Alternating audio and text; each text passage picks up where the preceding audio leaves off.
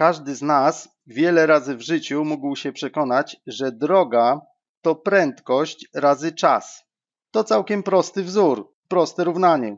Chciałbym w tym filmie, żebyśmy zrozumieli, że jednostki można rozpatrywać tak samo jak obiekty algebraiczne, że można je traktować jak zmienne i wykonywać na nich operacje takie same jak na wzorach czy równaniach.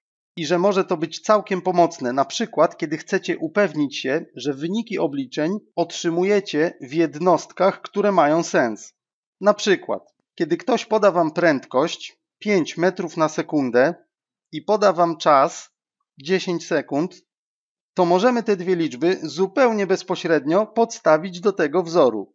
Droga równa się prędkość 5 metrów na sekundę razy czas, czyli 10 sekund.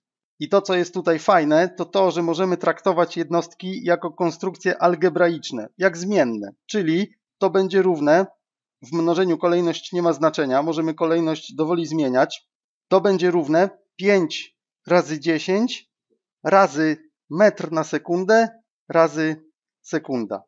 I jeżeli potraktujemy jednostki jako obiekty algebraiczne, to mamy tutaj sekundy podzielone przez sekundy.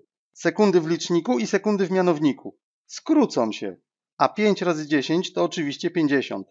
Czyli zostaje nam 50 metrów.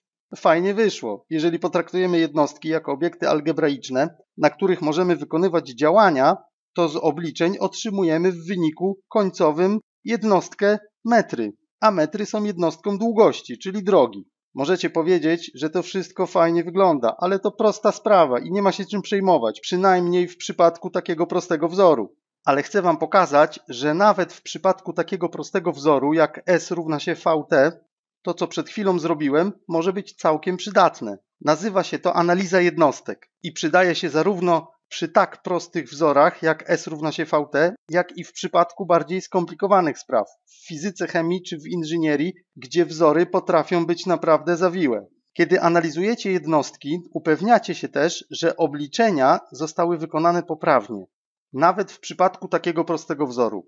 Skomplikujmy teraz trochę sprawy i powiedzmy, że prędkość się nie zmienia 5 metrów na sekundę, ale powiedzmy, że zmierzyliśmy czas w godzinach zamiast w sekundach.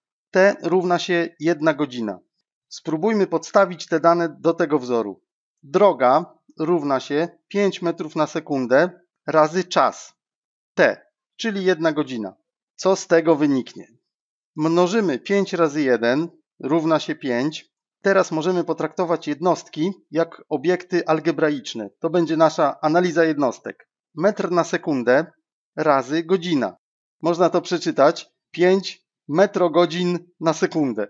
Jest to jakaś jednostka, ale nie wygląda na taką jednostkę, która ma jakiś praktyczny sens. Nie znam też nikogo, kto używałby takich jednostek. Spróbujmy to jakoś uprościć. Na pierwszy rzut oka wygląda tak, że jeżeli wyrazimy godzinę przy pomocy sekund, to może sekundy się skrócą i zostanie tylko metr. A metr to całkiem popularna jednostka długości i każdy wie, ile to jest metr i co oznacza. Jak to zrobić? Możemy pomnożyć to całe razy coś, co ma godzinę w mianowniku, a sekundę w liczniku, razy sekunda na godzinę. Ile jest sekund w godzinie? W godzinie jest 3600 sekund. Możemy zapisać, że przypada 3600 sekund na jedną godzinę.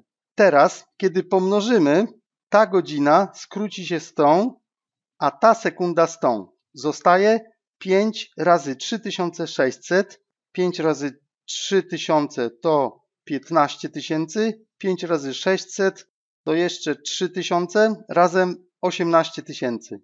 A z jednostek został tylko metr. 18 tysięcy metrów. I koniec obliczeń. Wyraziliśmy drogę, czyli długość, w jednostkach, które znamy, w metrach. Jeżeli jedziesz z prędkością 5 metrów na sekundę, na przykład rowerem, to w ciągu godziny przejedziesz 18 tysięcy metrów. Skorzystajmy z tej rozgrzewki i poćwiczmy analizę jednostek jeszcze trochę. Co by było, gdybyśmy chcieli znać odpowiedź nie w metrach, tylko w kilometrach? Co możemy zrobić? Na pewno możemy wziąć te 18 tysięcy metrów i pomnożyć razy coś, co ma metry w mianowniku i kilometry w liczniku. Wtedy metry się skrócą i zostaną tylko kilometry. Przez co możemy pomnożyć, żeby nie zmieniać wartości tego wyrażenia. Generalnie nie zmienia wartości wyrażenia pomnożenie razy 1, a ułamek, który jest jedynką, ma w liczniku to samo co w mianowniku. Jeżeli w liczniku mamy 1 km, to w mianowniku metrów musimy mieć 1 tysiąc. 1 km to to samo co 1000 metrów. Ten ułamek ma wartość 1. Możemy spokojnie pomnożyć nasze 18 tysięcy metrów razy 1, razy ten ułamek. Generalnie przy takiej zamianie jednostek zwyczajnie mnożymy naszą pierwotną wartość razy 1. 1 km to 1000 metrów. Ten ułamek to równowartość jedynki. No i patrzcie, co się teraz stanie. Metry się skracają. Mamy 18 tysięcy dzielone przez 1000, czyli 18, a jedyna jednostka, która nam została, to kilometr. I mamy odpowiedź. 18 kilometrów. Nie chcieliśmy metrów, wyraziliśmy wynik naszych obliczeń w kilometrach. 18 kilometrów.